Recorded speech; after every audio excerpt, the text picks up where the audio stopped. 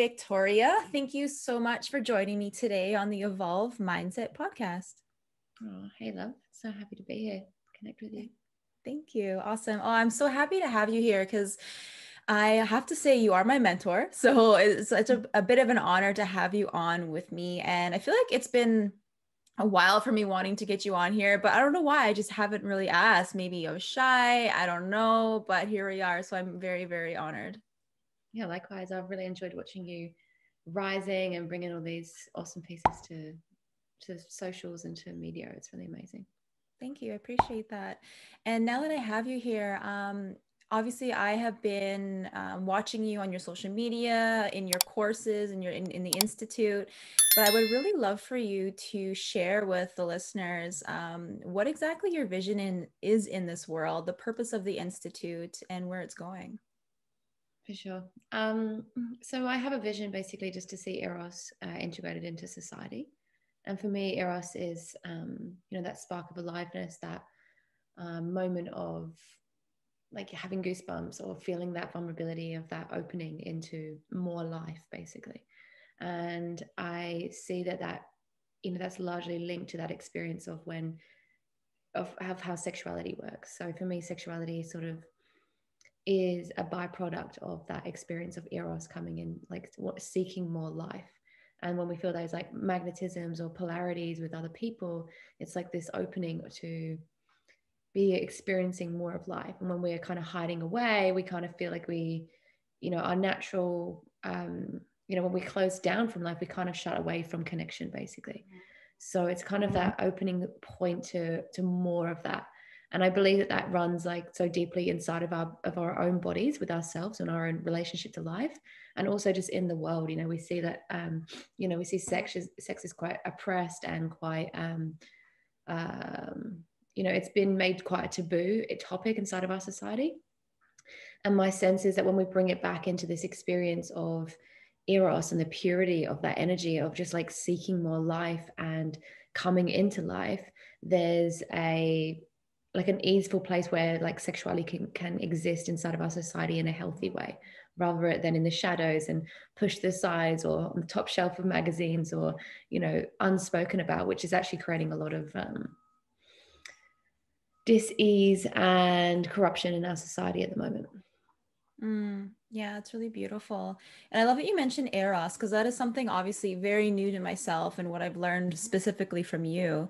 And you shared a little bit about it um, but I would love to share like towards the listeners. Can you also consider that sexual energy? Um, so yeah, I, I, guess my understanding is is that there's a there's eros, which is kind of a very um, like the qualities of eros is not like uh, masculine or feminine or more yang or more yin or you know more hot or more cold. It's not like any of those experiences. It's very non-dual in its in its frequency and its expression. Um, and so for me, the sexuality is the piece that comes after that. So like from eros, it's like this spark of creation, this um, this desire, this sort of breath into life comes our sexuality, comes our creativity, comes like um, you know our uh, emotion. Like it's this kind of outward expression of of being human, basically. Mm, I love that so much. Thank you. And I'd love to know because I feel like uh, a lot of this stuff can be considered even taboo because of a lot of, I guess, maybe the, the media is per, per, per, perpetuating it, the way people share um, are maybe shamed and not allowed to share it within like their family or their possibly their lover is feeling uncomfortable with it. That being said, um, how do you feel it would be how, how do you think it could be made a lot easier for people to be able to speak to subjects like this and actually be able to embody it a bit more Mm.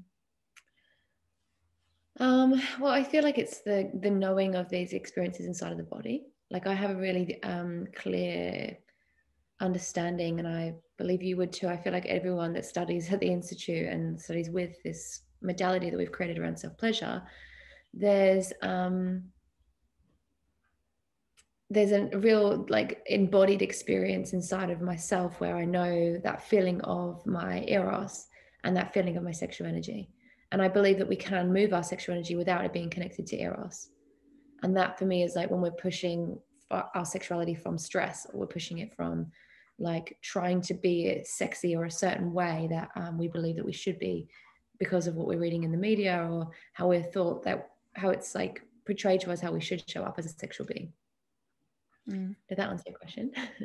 a little bit, yeah. I'm trying to find a good way to word what I'm trying to ask. Um, maybe I'll just share what I'm, I'm trying to lead towards. So, um, obviously, with a lot of this stuff being taboo, it makes it really difficult for people to actually speak to it or um, show it in the media.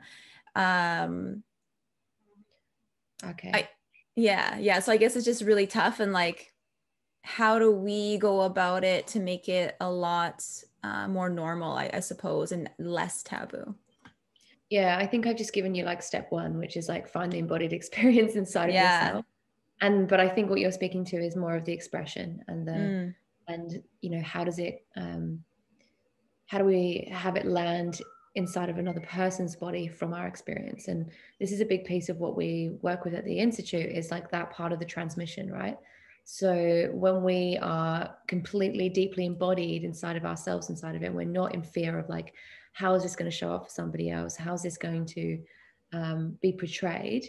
It actually sort of lands in a much deeper place inside of us where we're not um, we're not charged with being misunderstood almost you know? We're not feeling like oh man am i going to be misunderstood if i bring this piece?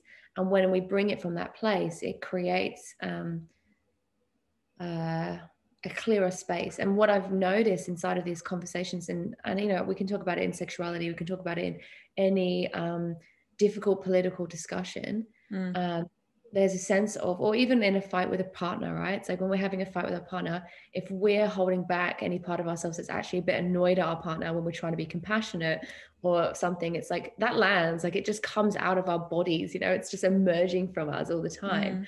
Mm. Um, and so once we kind of like be with that part of ourselves that is frustrated or be with the part of ourselves that is feeling like we're going to be misunderstood, it creates a pathway to be to come into deeper expression. So, I mean, again, I'm kind of giving you more of the inner landscape of it. But if I was yeah. to say, like, how do you bring uh, the conversation into the bigger sphere? My sense would be that you really need to frame exactly what you're doing.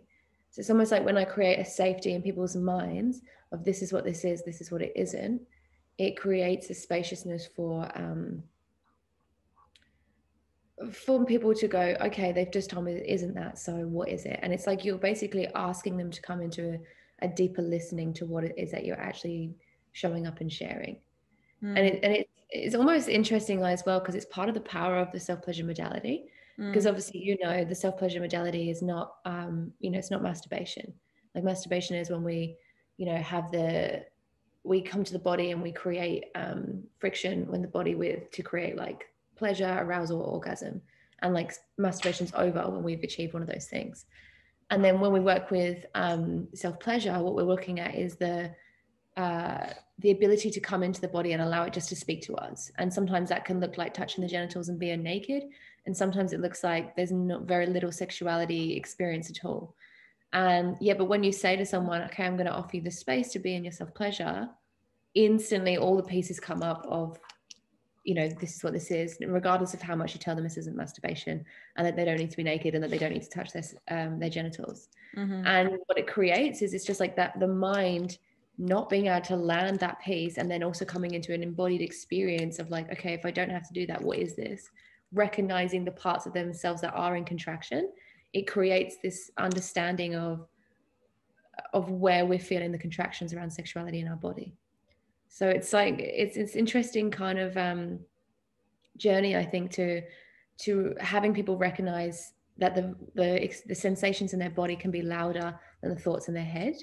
Mm-hmm. and i think that's what happens when we start to communicate this piece of eros versus sexuality.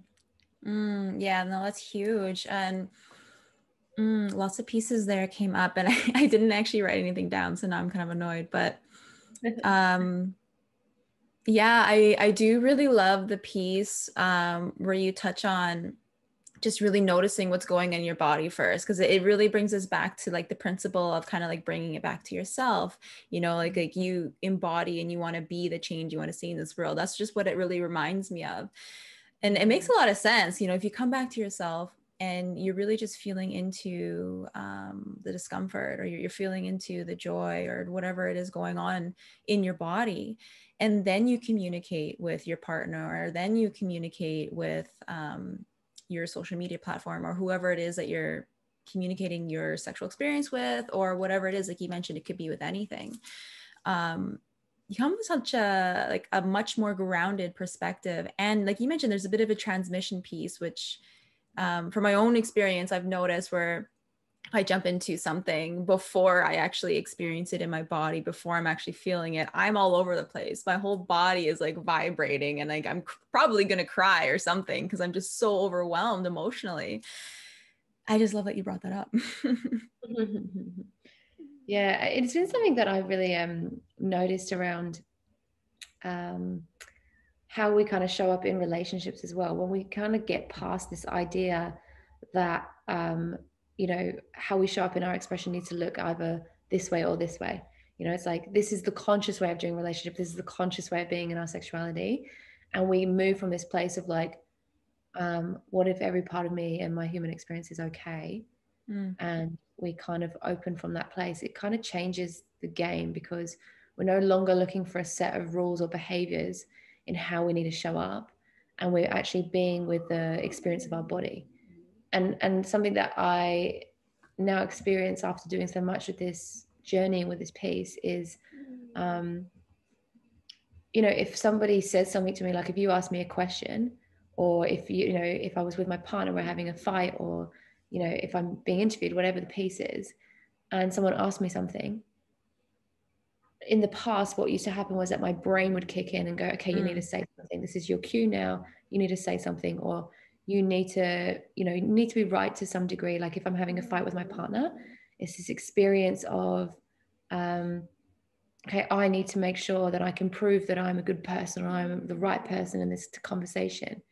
And now what happens is i have the experience of just like my body is the first thing that comes up so the sensations whatever you're sharing the sensations start to be the first point of awareness inside of a, an argument with my partner or even a conversation with you or you know sharing anything. It's like what is going on inside of me becomes the the, the leading compass. Mm. and then from there i'm able to share whatever's true for me from that place. And that that for me is when you kind of are working in that transmission space. You're in that embodied experience of sharing your truth because you're not focused on showing up or being a certain way for somebody else you're actually just being in the most authentic expression of your humanity in that moment Mm, yeah, that's super beautiful. And I love that you touched on that too, because I was actually going to ask you that because it came into my mind. Um, the the body versus the mind piece. So you're mentioning that it's it's something that you're feeling in your body first, as opposed to discovering it through the mind first. So I'd love for mm. you to um, if you can explain even how that like comes up for you in a conversation or in a difficult um, difficult conversation or even possibly in an arousing situation. Mm, yeah. Um,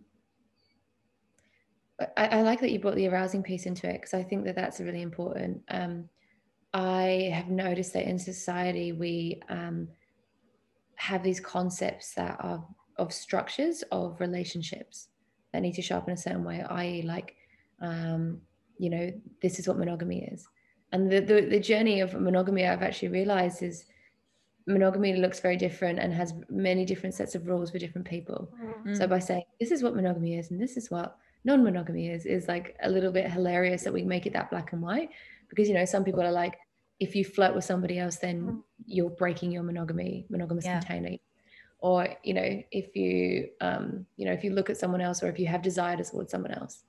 And i feel like what i have come to realize is that like um, what we experience inside and what we're feeling inside cannot be controlled. And if we try to repress it or shut it down we're actually hurting ourselves.